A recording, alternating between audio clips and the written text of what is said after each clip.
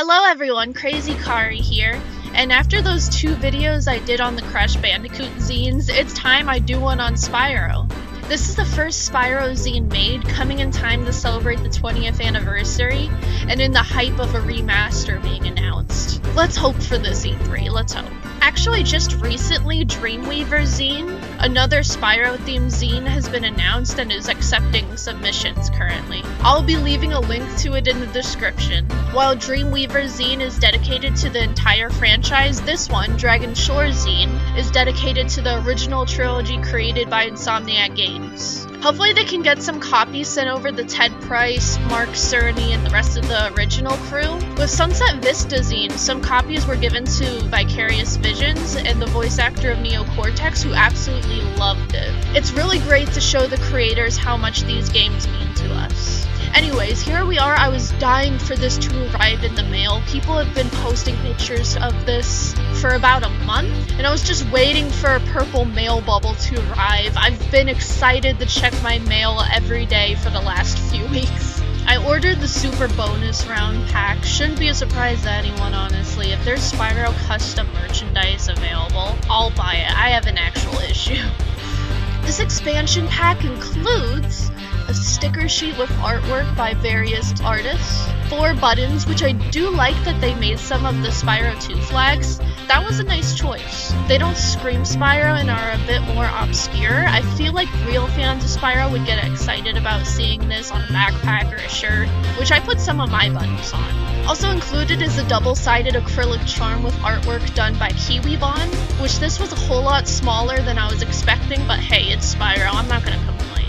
And lastly, I got the postcard set. I wouldn't actually call these postcards as they're more like mini prints. Postcards usually have writing lines and a place stamp here template on the other side, but I'm personally fine with mini print. I wouldn't want to write on the back and dent the artwork anyways. And yes, I was so excited when I saw the postcard of George. This is the best. George goes so underappreciated in this community. Bless this little ice ice baby.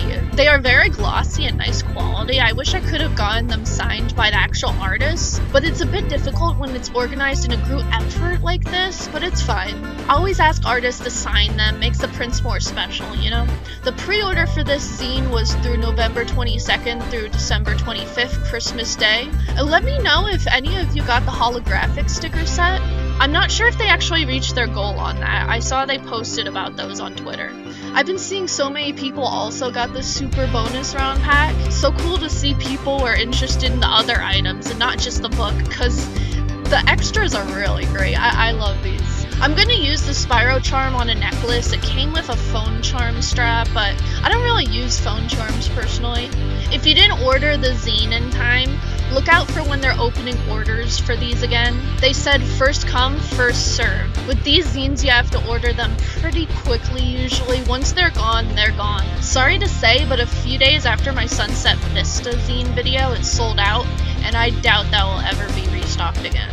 This project was organized by Haunted Cosmos Press, and this was their first publication. Their next one will be revealed in March. They are a US based company, and their mascot is some crystally space skeleton looking thing. Pretty original to me. I'm really not sure what their next publication is going to be themed on, but I'm looking forward to seeing what it is. If you still miss out on this, though, the PDF file is still an option. It's $5 USD. One thing I really like that they did is in between the time waited for the physical zine to arrive, on their official pages they were posting interviews with the artists who took part in the zine, with questions such as Has Spyro influenced your style in any way? and asking about their favorites from the series. Reading their responses were interesting.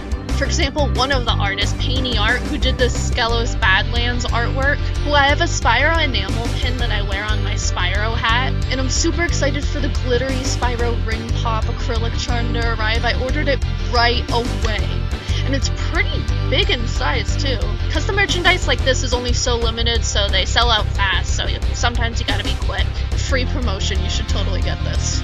The zine's profits went to Fred Hutchinson's cancer research, and a total of $1,085.65 was made, and the final count was rounded to $1,100. Even if I wasn't able to make it into the zine, I'm still glad that I've supported it and helped in a way, and making this video can help the word get out. I asked the team if I could make a video on this, and they said they were excited to see it and would share it, so I'm looking forward to that. Always like to get permission first, just in case. Well, that's pretty much it, everyone. I hope you enjoyed checking this out with me.